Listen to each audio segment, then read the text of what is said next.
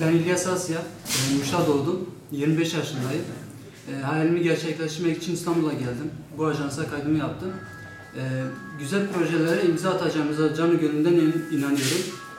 E, daha yeni başladık. E, inşallah daha güzel yerlere geliriz.